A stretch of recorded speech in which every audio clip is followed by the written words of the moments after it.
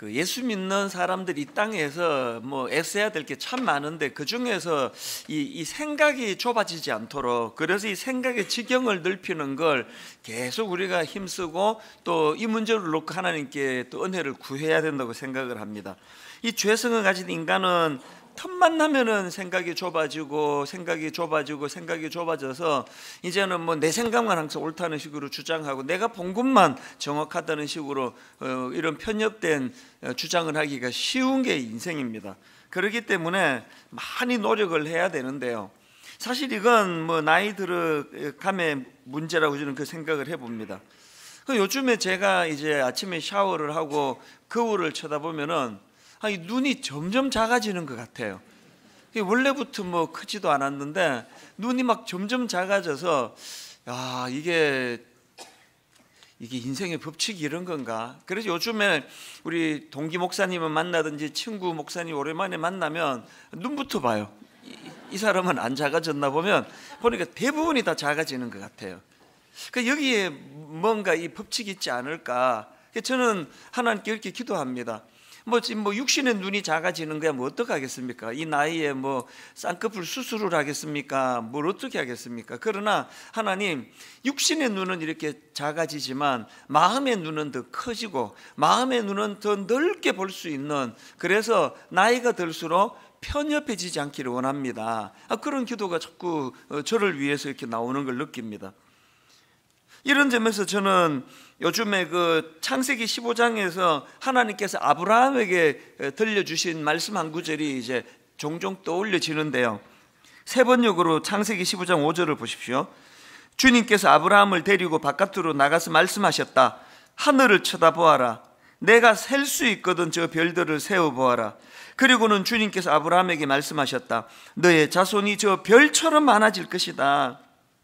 지금 아브라함이 그 자기의 좁은 눈으로 그 상황과 현실을 보면서 그 답답함을 토로하니까 주신 말씀인데 어떤 답답함을 토로했는가 하면은 2절입니다. 그 앞에 나오는 아브라함이 이르되 주 여호와여 무엇을 내게 주시려 하나이까 나는 자식이 없사오니 나의 상속자는 이 다메섹 사람 엘리에셀이니이다 지금 아브라함이 자기 세계에 갇혀가지고 자기가 보는 것만 가지고 판단할 수밖에 없다가 보니까 이 자녀 없음에 대한 그런 안타까움을 토로하니까 하나님은 이리 좀 나와봐라. 그리고 저 하늘의 별을 보라고 그랬습니다.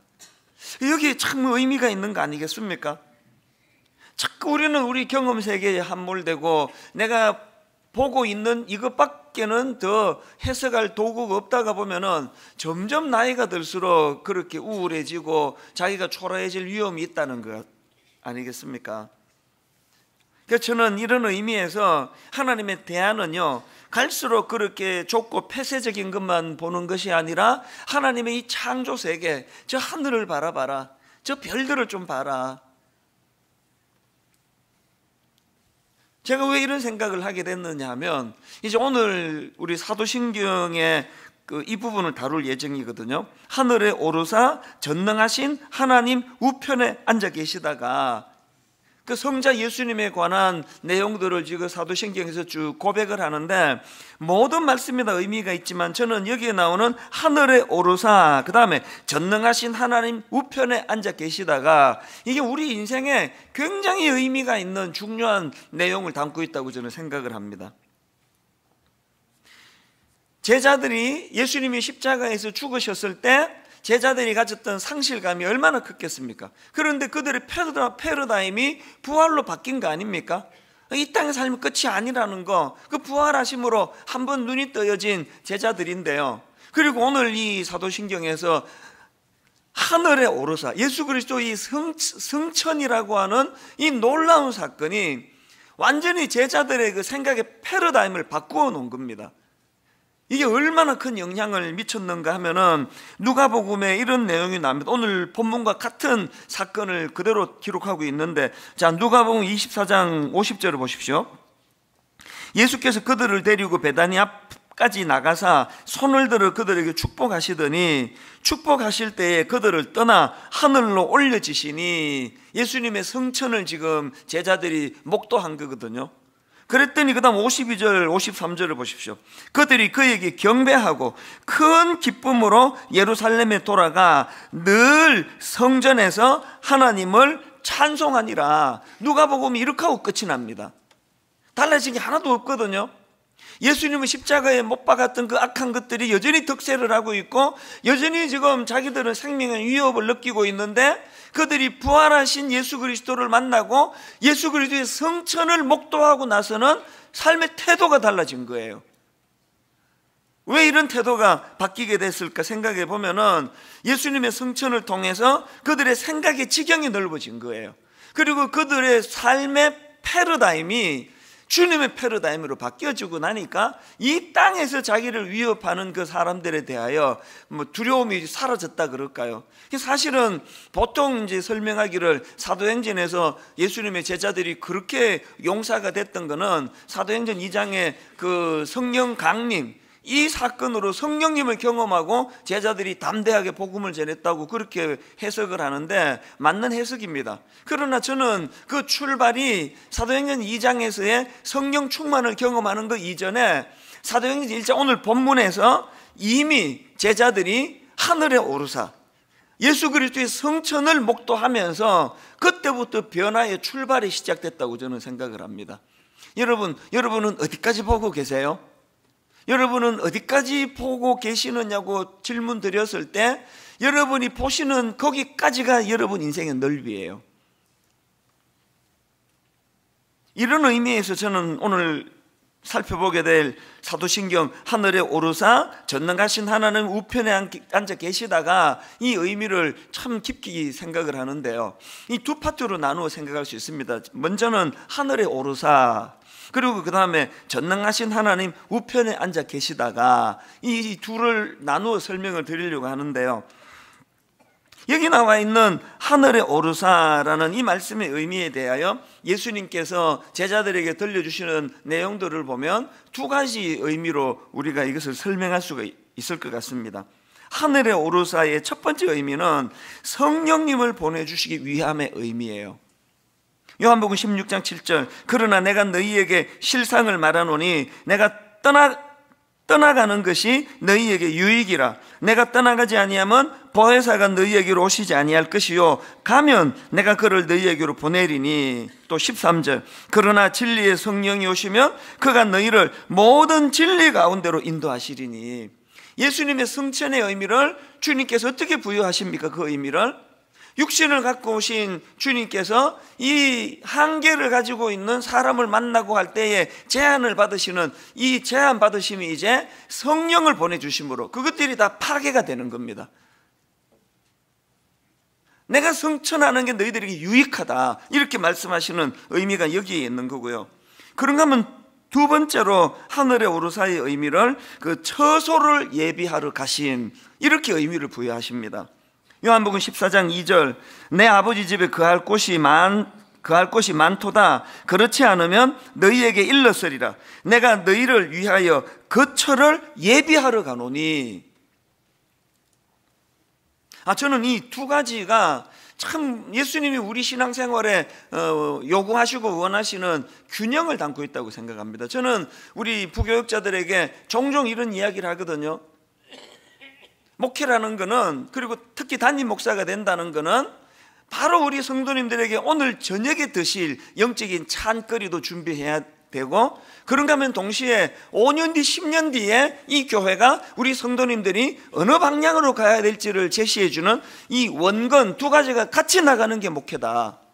그래서 오늘 이 바로 이 설교를 위해 가지고 한 주 내내 창거리를 준비하고 추석을 보고 성경을 읽고 묵상을 하고 이런 일들을 게을리하면 안 되고요.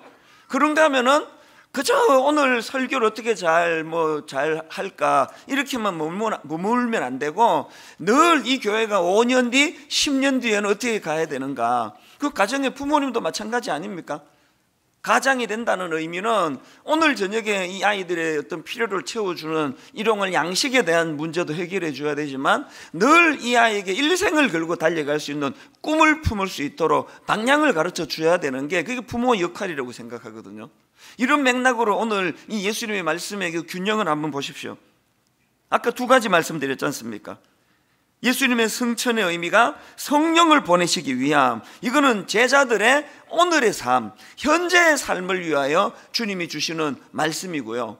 그런가 하면은 처소를 예비하러 가심. 내가 너희를 위하여 거처를 예비하러 가노니 이거는 뭘 의미합니까? 지금 당장 인도하신가 공급도 중요하지만 궁극적으로 너희들이 뭘 지향해야 되고 어디를 향해 가야 되는지를 인식하시도록 할 수 있도록 예수님이 지금 가르쳐 주고 있는 거 아닙니까?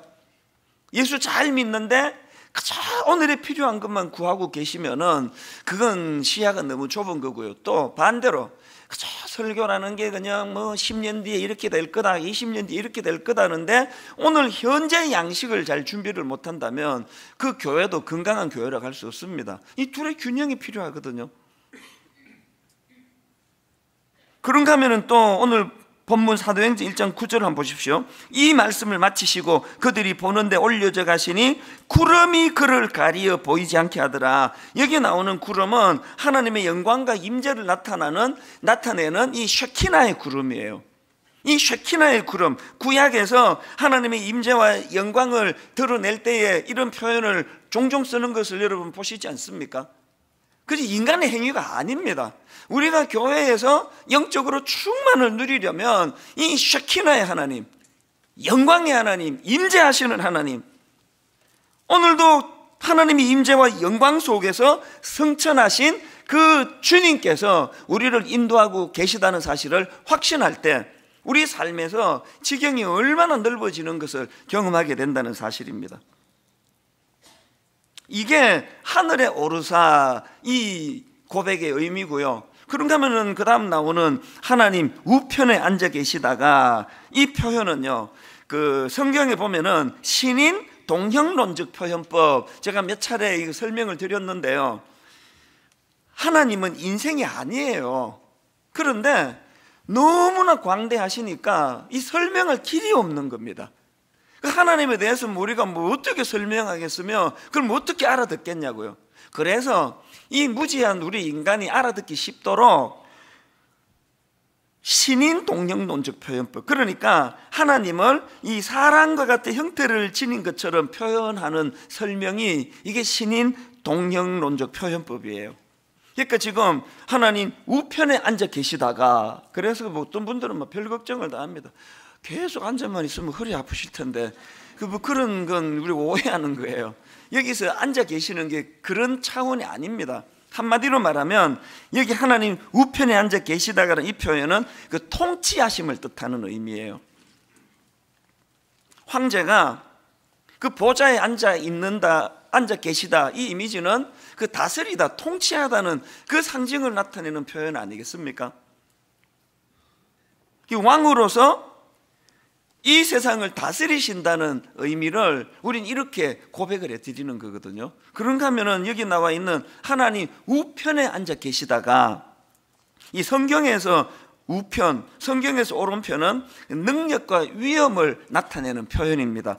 10편 137편 138편 7절에 보니까 내가 환란 중에 다닐지라도 주께서 나를 살아나게 하시고 주의 손을 펴사 내 원수들의 분노를 막으시며 그 다음 보세요. 주의 오른손이 나를 구원하시리이다. 이 오른손이 나오죠.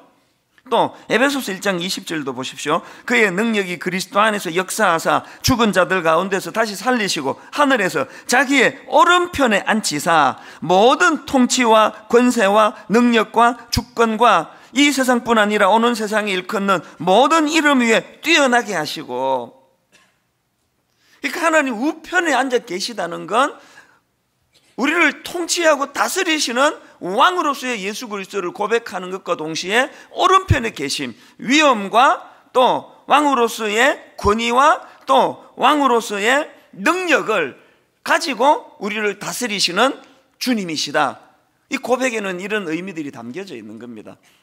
그런가 하면은 또 하이델베르크 문답 50문에 이런 질문과 답이 나옵니다. 왜 그 다음 귀절은 하나님 우편에 앉으시고입니까? 답이 이렇습니다.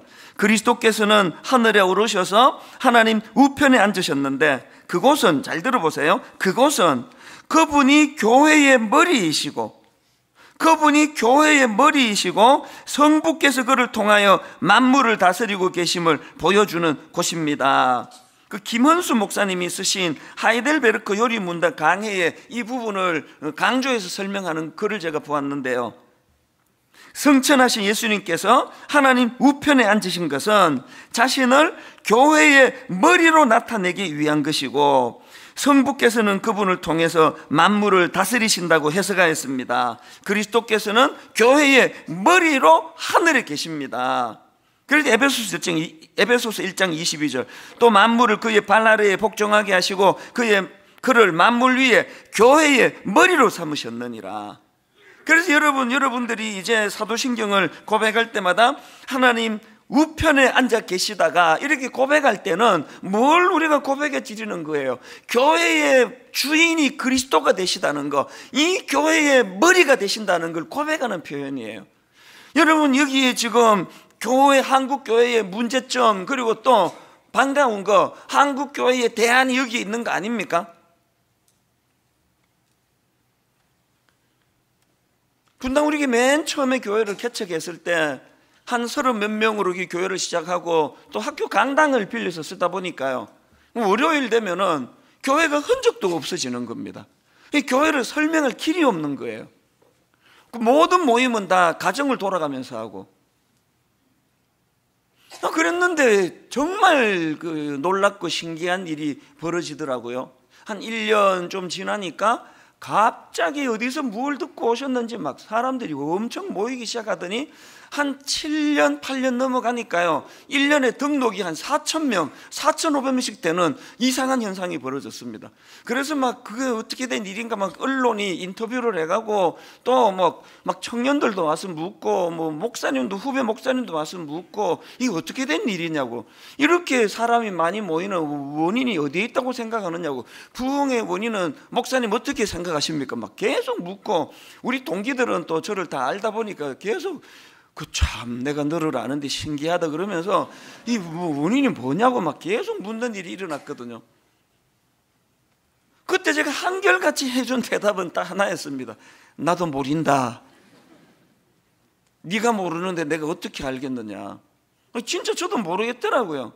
이게 뭐 조금만 늘어나면은 막 이게 착각해서 교만에도 좀 빠지고 그럴 것 같은 같겠는데요. 그 선을 넘어서니까 이 교만은 엄두가 안 나더라고요. 이게 뭐 이게 어떻게 된 일이냐고 이게 저도 잘 모르겠다는 거예요. 왜 이런 일이 일어나는지. 그러나 하나 알아요. 교회의 머리가 되시는 분이 예수 그리스도라는 거. 우리가 신앙 고백을 통해서도 그 고백을 하고 있다면 그건 내가 다 알 필요가 없는 거 아닙니까? 교회 부흥의 원인을 내가 다 안다면은 내가 교회의 머리지 어떻게 주님이 머리시겠냐고요. 저도 잘 모르겠는 거예요. 그때는요 종종 제가 이런 기도 부탁을 했습니다.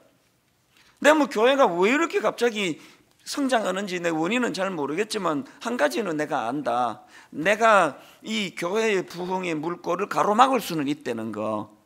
그 내가 기도 부탁을 종종 했습니다. 이 하나님이 부어 주시는 부흥의 물꼬를 내가 가로막지 않도록 잘 비켜서서 이 하나님의 역사에 방해꾼 노릇을 하지 않게 해달라고 그렇게 기도해 달라고 종종 요청을 했던 기억이 있거든요.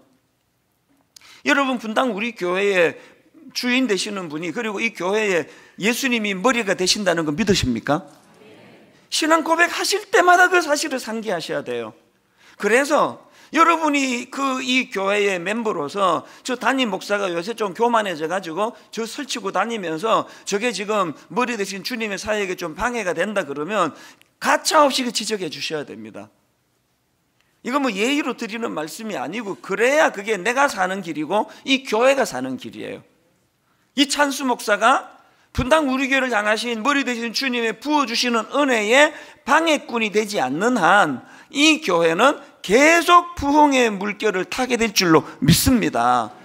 이건 가정도 마찬가지고 개인도 마찬가지예요. 제가 이제 한 한 달 반 있으면 이제 60살이 되다가 보니까요. 조금 철이 드는 것 같아요, 이제. 근데 세상의 원리를 조금 아는 것 같아요. 그뭐 그렇게 30대 때는 인생을 내가 피곤하게 힘들게 살았는데요. 여러분 인생 그렇게 힘들게 사실 거 없습니다. 인생은요 편성하는 게 편성. 하나님의 은혜의 물결에 그냥 편성하는 거예요. 그 그냥 그 호숫가에서 자기가 노져 가지고 가려고 하니까 얼마나 피곤하세요. 은혜의 물결에 편성하는 거예요. 그 순리예요, 순리. 순리. 순리. 물이 위에서 아래로 흐르는 거. 그 순리거든요.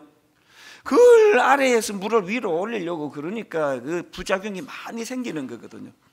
예를 들어서 사랑.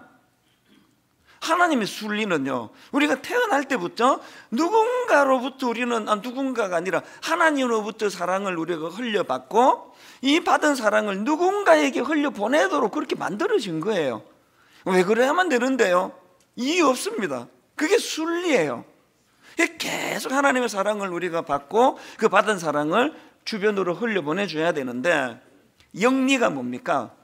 그래서 하나님이 한 남자와 한 여자를 한 가정으로 주셔서 이 사랑이 흘러 넘치도록 해주셨는데 괜히 그 지나가다가 어떤 옆에 옆동 아줌마를 보고 그 사랑을 그 아줌마에게 흘려 보내주면서부터 비극이 시작이 되는 거거든요. 손 들어보세요. 계실 건데. 그 일하라고 회사를 보내놨더니 그 쓸데없이 그, 그, 그 남의 부인 있는 남편을 보고 사랑을 글로 흘려 보내다가 문제를 다 일으키는 거 아닙니까? 그 인생은 간단해요. 내가 내 인생의 주인이 아니고, 내가 내 인생의 설계자가 아니고, 내가 내 행복을 위하여 내가 뭘 만들어내는 게 아니고요. 이미 만들어진 창조 질서에 따라서 순리대로만 가면 됩니다. 분당 우리 단임 목사로서의 순리는 가장 간단한 게 뭐예요? 이 교회는 내게 아니라는 거. 내가 창업주가 아니라는 거. 그래서 자꾸 뭐 그 목사님들 보고 목자다 목자다 그러시는 분이 계시는데요. 호칭 바꾸셔야 됩니다. 아, 우리가 무슨 목자예요? 단임 목사는 목자 대신 주님을 도, 돕는 양모리 개입니다. 개. 양모리 개. 저는 양모리 개예요. 개. 그렇다고 저보고 이 개 같은 놈 그러지는 마세요. 목사가 목자 아닙니다. 목자는 주님이세요. 모든 수종되는 우리 인간은 양머리 개예요. 그래서 저는 동물 농장 같은 걸 볼 때마다 우리 동료한테서 많이 배웁니다. 아, 양은 저렇게 모는구나. 얼마나 바쁘게 이 양머리 개가 다니면서 양을 우리 안으로 모는 일을 돕느냐고요. 인생의 행복은요. 자기 자리를 정확하게 알고 그 자리를 잘 지키고 순리를 벗어나지 않고 하나님이 부어주시는 사랑을 가지고 내 아내와 내 세 자녀와 분당 우리 교회 이 수많은 성도님들한테 이 사랑을 흘려보내는 순리예요. 그러다가 내가 어느 막 이상한 아줌마를 만나가지고 그쪽으로 사랑을 흘려보내주는 순간 내가 망한다. 이 원리를 아니까 혼란스러운 게 하나도 없는 거 아닙니까? 사도신경을 고백하실 때마다 교회의 머리가 예수 그리스도가 되신다. 교회의 주인은 항상 예수 그리스도가 되신다. 그분이 쉐키나의 영광으로 승천하셔서 오늘도 우리를 다스리신다. 이 원리를 고백하실 때마다 사도신경 고백하실 때마다 마음의 순리로 자리 잡는 은혜가 있기를 주님 이름으로 축복합니다. 자, 이제 조금 더 구체적으로요. 그래서 이제 우리가 이 사도신경을 고백할 때마다 꼭 기억해야 될 두 가지 포인트가 있는데요. 첫 번째 포인트가 뭐냐? 하나님 나라를 향한 이 사모함을 회복해야 된다는 게 사도신경 고백할 때마다 기억하십시오. 사도행전 1장 9절을 보십시오. 이 말씀을 마치시고 그들이 보는데 올려져 가시니 구름이 그를 가리어 보이지 않게 하더라. 10절 올라가실 때에 제자들이 자세히 하늘을 쳐다보고 있는데 3년 동안이나 그 찬양은 늘 제게 은혜가 돼요. 허물 많은 베드로를 용서하시고 의심 많은 도마에게 확신 주시고 사랑하는 그의 제자 가슴에 안고 부드러운 사랑으로 인도하시네. 이 제자들이 3년간 이 노래를 부르며 주님을 따랐던 거 아닙니까? 늘 한결같이 품어주시고 자기 사람을 사랑하시되 끝까지 사랑하시는 그 주님의 사랑을 3년간 누리다가 그 주님이 성천을 하시고 나니까 당연히 올라가실 때에 제자들이 자세히 하늘을 쳐다보고 있는데 여러분 나 장로인데 나 믿음이 좀 좋은데요. 그러는데 하나님 나라에 대한 소망이 없으면 그 믿음 가짜예요. 내가 예수 그리스도를 너무나 사모한다면 그 사모하는 주님이 가 계신 하나님 나라를 어떻게 그리워하지 않을 수 있겠냐고요. 늘 마라나타 주 예수의 오시옵소서 그것과 동시에 우리는 하나님 나라를 사모하는 게 하나님 나라를 제가 고등학교 1학년 때 전가족 이민을 가족들이 떠나셔가지고 저는 그때 누나네 집에 잠깐 얹혀 지냈거든요. 둘째 누나 집에 얹혀 있는 동안에 어머니가 얼마나 그리운지 미국 가 계시는 동안에 가보지도 않은 미국 뭐 어떤 데인지도 모르는데 늘 미국이 그립더라고요. 뭐 미국이라는 나라가 뭐 어떤 나라인지도 모르고 저는 뭐 그 나라가 뭐, 뭐, 뭐 어떤 지도 모르지만 사랑하는 어머니가 가 계시는 나라기 때문에 늘 그 나라에 가고 싶고 그 나라가 그립고 결국은 따라갔지 않습니까? 여러분 우리가 주님을 사랑하신다면요 하나님 나라를 향한 이 사모함 그래서 여러분이 잘 아시는 마가복음 15장 43절에 보면은 아리마대 사람 요셉이 와서 당돌이 빌라도에게 들어가 예수의 시체를 달라 하니 이 사람은 존경받는 공회원이요. 그다음 보세요. 하나님의 나라를 기다리는 자라. 아, 근 정말 내가 주님께 이런 평가만 받으면 소원이었겠습니다. 이 찬수 목사는 그저 교회 키우는 데만 관심이 많은 자라 이런 평가는 받고 싶지 않습니다. 이 여러분 이 아리마대 요셉 아리마대 사람 요셉이 하나님 앞에 어떤 평가를 하나님의 나라를 기다리는 자라 이런 간절함이 있으니까 당돌하게 빌라도에 가가지고 예수의 시체를 달라고 말할 수 있는 담대함이 생기는 거 아닙니까? 여러분 우리의 꿈은 우리의 비전은 믿음의 담대함은 하나님 나라를 사모하는 것에서 오는 줄로 믿으시기를 바랍니다. 그런가 하면 또 하나. 골로새서 3장 1절 2절을 보십시오. 그러므로 너희가 그리스도와 함께 다시 살리심을 받았으면 위의 것을 찾으라. 거기는 그리스도께서 하나님 우편에 앉아 계시느니라. 위의 것을 생각하고 땅의 것을 생각하지 마라. 하나님 우편에 앉아 계신 그리스도를 늘 위의 것을 생각하고 묵상하고 그분을 그리워하면 어떤 좋은 현상이 나타나느냐? 바로 그 다음 나오는 5절을 보세요. 그러므로 땅에 있는 지체를 죽이라. 곧 음란과 부정과 사욕과 악한 정욕과 탐 탐심이니 오늘 한국 교회가 살아나는 길은 이거예요. 목사고 장로고 신문에 너무 자주 나오는 거 아닙니까? 누가 성추행했다? 누가 공공횡령했다? 누가 무슨 짓을 했다? 이 너무 자주 나오는 거 아닙니까? 이걸 막을 수 있는 유일한 대안이 있다면 골로새 3장 5절에서 제시하는 말씀이 뭡니까? 위의 것을 사모하라는 게 그리스도께서 하나님 우편에 앉아 계신다. 위의 것을 사모해라. 땅의 것을 생각하지 마라. 그러면 이런 저질스러운 음란과 부정과 사욕과 악한 정욕과 탐심 애쓰지 않아도 저절로 없어지는 겁니다. 저는 분당 우리 교회 거룩한 교회 되기 원합니다. 여러분의 단임 목사 능력은 없다 소리는 들어도 너무나 불결한 목사라는 평가는 이거는 끔찍한 이야기 아닙니까? 설교는 잘 못한다 소리 들어도 우리 담임 목사는 거룩한 목사야. 우리 담임 목사 거짓말 안 해. 우리 담임 목사는 하나님 앞에 신령한 목사야. 그러려면 어떻게 해야 된다고요? 어려운 거 없습니다. 주님 계신 하나님 나라를 묵상하라는 거 아닙니까? 하나님 나라를 사모하라는 거 아닙니까? 땅의 끝만 그 영적인 돼지처럼 그 돼지 목뼈는 구조상 위를 못 본다고 그러잖아요. 계속 꿀꿀거리고 사는 인생이 아니라 내 사모하는 주님 계신 그 나라, 그 나라를 사모하면서 이 땅의 더러운 행실들이 깨끗이 치유되는 믿음의 형제 자매들 되시기를 바랍니다. 그런가 하면 두 번째로 여러분 우리가 사도, 사도신경을 고백할 때마다 무슨 포인트를 가지고 고백해야 되느냐 그리고 사모해야 되는 게 뭐냐? 하나님 나라를 향한 헌신의 회복이에요 헌신의 회복. 하나님 나라를 향한 사모함도 회복해야 되지만 하나님 나라를 위한 헌신 이게 참 중요한 겁니다. 11절에 하늘만 보고 있는 제자들에게 이런 권면을 합니다. 11절 보니까 이르되 갈릴리 사람들아 어찌하여 서서 하늘을 쳐다보느냐 너희 가운데서 하늘로 올려지신 이 예수는 하늘로 가심을 본 그대로 오시리라 하셨느니라 하늘만 쳐다보고 사모하는 거 좋은데 그것만 보고 있으면 안 된다는 겁니다. 제가 한국에 그 신학교로 들어가던 90년대 초에 담이 선교회라고 온 대한민국을 바깥 뒤집어 놓은 그 종말론자들이 있었잖아요.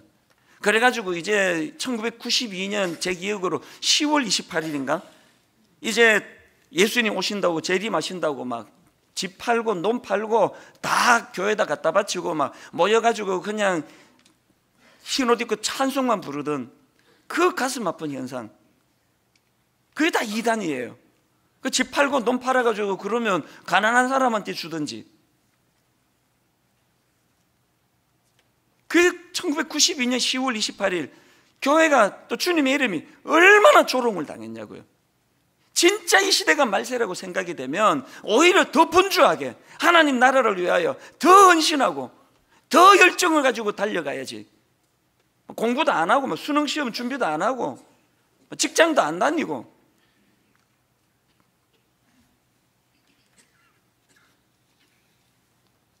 우리가 하나님 앞에서 늘 은혜를 구하고 사모한다면 하나님 나라를 사모한다면 이 땅에서 하나님 나라를 건설하는데 작은 보탬이라도 되기 원합니다. 전에 제가 저희 어머니가 그한 한 3, 4년 전에 한국을 방문하신 얘기를 드렸지 않습니까? 그 어머니가 모처를 모셔서 이, 이 아들이 무지해요. 막 어떻게라도 구경 하나 더 시켜드리려고 그때가 또 봄이라 가지고 막 막 그 그 개나리 구경도 시켜드리고 또 뭐 진달래 구경도 시켜드리고 막 여기저기 막 벚꽃이 그렇게 좋답니다. 그럼 모시고 가고 그 미국 들어가시기 전날까지 막 과하게 이제 했더니 이게 병으로 오신 거예요. 그래서 이제 절망적인 소식이 들려지더라고요. 지금 중환자실에 가 계시는데 못 넘기실 것 같다는 거예요. 그럼 우리 형제들이 저보고 너무 가책 느끼지 마라. 네 잘못 아니다.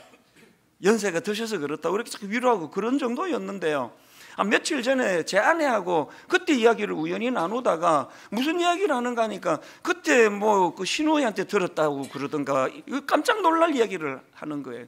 그 어머니가 막 사경을 애매시다가 잠깐 정신이 이제 들어오시면 막 너무 좋아 기뻐하신다고 나 이제 주님 만나러 간다고 드디어 이제 내가 이제 사랑하는 주님 만나러 간다고. 너무너무 기뻐하시다는 그러다가 또 사경을 애매시고 그랬는데 기적같이 살아나시 기적같이. 지금도 뭐 한 3, 4년이 지났는데도 여전히 지금도 건강하게 계시거든요. 왜 주님은 당신의 딸이 그렇게 죽어 주님께 가기를 사모하시는데 왜 그때 왜 안 데리고 가시는 거예요? 어, 그때 데리고 가시면 그 소원이 이루어지는 것처럼 기쁘게 인생을 마무리하실 텐데 왜 안 데리고 가시느냐고요? 왜 안 데리고 가신다고요? 그분의 막내 아들이 분당에서 목회를 하고 있거든요. 그 철딱서니도 없고 판단력도 흐리고 그런데 여전히 그 어머니의 기도가 필요하거든요. 새벽마다 이런 새벽마다 일어나 우리 아들 이찬수 목사를 불쌍히 여겨달라고 여기 우리 어른들이 몇 분 계시는데요. 농담으로라도 이런 말 하지 마세요. 내가 죽지 못해서 한다. 그 하나님 굉장히 싫어하는 말씀이에요. 네가 어떻게 죽지 못해서 사니 네가 내가 살려줘서 사는 거지. 아, 어떻게 죽지 못해서 사는 산다는 말을 하느냐? 네가 오늘도 호흡이 있는 거는 이 땅에서 네가 사명이 있기 때문이야 사명. 그렇게 허송세월을 하려면 얼마나 억울하니? 여기 뭐 우리 어머니보다 연세 많은 분 계세요. 95세보다 많으시는 분에 대해서 내가 모르겠습니다만 95세 된 저희 어머니도 사명을 따라 사명마다 아들 위해서 기도하신다면 우리 어른들 분명히 여러분 확신하세요. 이게, 이게 축복이에요, 축복. 하나님이 여러분을 통해 아직 사명이 있다. 아 근데 뭐 어른이 딱 깼는데도 윤나 왜 사는지 모르겠다 그러면 그때부터 저 위해서 기도해 주시기 바랍니다. 우리 담임 목사 위에 기도하라고 그러나 보다 그 기도해 주시면 되는 겁니다. 결론을 맺으면서 제가 여러분 제가 참 우리 하나님은 제게 너무 자상한 분이에요. 오늘의 이 설교 마무리를 잘 지을 수 있도록 예화를 제공하기를 원하셔서 TVN 제작진의 마음을 흔들어 움직이셔서 지난 월요일 날 제 방송을 제가 우연히 봤거든요. TVN에 보니까 응답하라 1988 그거를 이제 그 재방송으로 보여주는데 신기하게도 딱 요 대목을 제가 봤습니다. 중간에. 거기 이제 그 주인공이 그 고등학교 여학생 아닙니까? 덕선이라고. 그 이제 여학생이 이제 그 자기 눈으로 이제 쭉 이제 그, 그 나레이션이 돼가지고 뭐 설명도 하고 이제 그렇게 하는데요. 얘 할머니가 돌아가신 거예요. 그러니까 이제 그, 그 아버지의 어머니 그러니까 할머니가 돌아가시고 옛날에는 장례를 다 앞마당에서 치렀잖아요. 전도 굽고 손님 대접도 하고 식사도 드리고 이제 그런 내용이 지금 그 드라마에서 펼쳐지더라고요. 보니까요. 이 여고생이 보니까 이게 어른들이 하나도 슬퍼하지 않는 거예요. 고모들은 와가지고 막 반지 자랑하고 막 낄낄거리고 웃고 또 자기 아빠한테 너무 실망을 한 거예요. 아니 지금 자기 엄마가 돌아가셨는데 저렇게 슬퍼하지 않을 수 있느냐고. 그래서 자기 언니하고 너무 실망이라고 막 그러면서 막 울먹울먹하면서 우리 할머니가 너무 불쌍하다고 막 그러는 거예요. 그러니까 저런 아들 딸 그동안 믿고 사신 게 너무 불쌍하다는 그런 뜻이겠죠. 너무 이제 실망을 해 있는데요. 그러고 있는데 이제 쭉 드라마가 전개가 되다가 그 큰아버지가 이제 미국에 사시는 분이 계시나 봐요. 이분이 무슨 뭐 사정이 있으셔가지고 장례식에 늦게 나타나신 거예요. 그래서 이제 늦지막하게 밤 늦게였던 걸로 기억, 새벽이었는지 밤 늦게 나타나서 자기 아버지 이름을 불러요. 누구 누구야 자기 동생이니까. 그랬더니 이 아버지가 얼어붙는 거예요. 그러더니 이제 자기 형에게 와락 달려가 가지고 통곡을 하는데요. 못한다고 이제 왔어. 못한다고 이제 왔어. 그러면서 이제 그 걸쭉한 전라도 사투리 너무 정겨워요. 전라도 말로 우리 어머니 불쌍해서 어떡하나, 우리 어머니 불쌍해서 어떡하나. 우리 어머니 뭐가 급해서 왜 이렇게 빨리 돌아가셨냐고 울음이 터지는데요. 그 고모들하고 자기 아버지하고 미국에서 온 큰아버지하고 부둥켜 안고 통곡을 하는데 그때 이 아이가 오해가 풀린 거예요. 그 이 아이가 막 울면서 이제 그 나레이터가 돼가지고 설명을 하는 그걸 보고 제가 울었습니다. 감정이입이 돼가지고 그 아이가 이런 그 나레이션을 펼치더라고요. 어른도 아프다.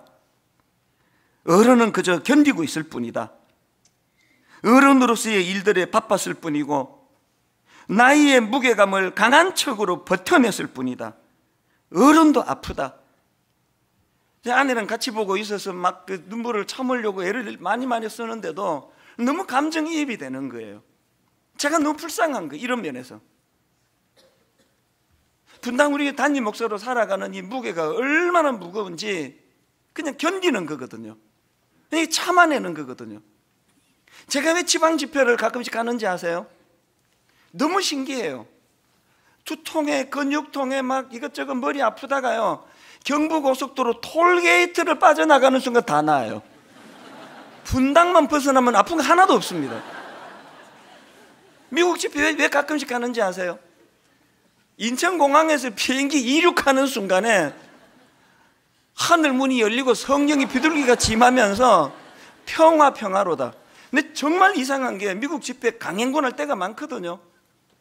이 주에서 월화 어, 저, 저, 저 수목 그 금토 주일 하고 새벽 비행기 타고 다른 주로 가가지고 그날 월화수 집회하고 어떨 때 주일날 설교를 다섯 번 여섯 번 할 때도 있는데 이상하게 하나도 안 아파요. 분당의 공기가 무거운 거예요. 공기가 뭘 의미합니까? 이 작은 그릇에 분당 우리 단임 목사 노릇하는 게 그만큼 힘들다는 거 아닙니까?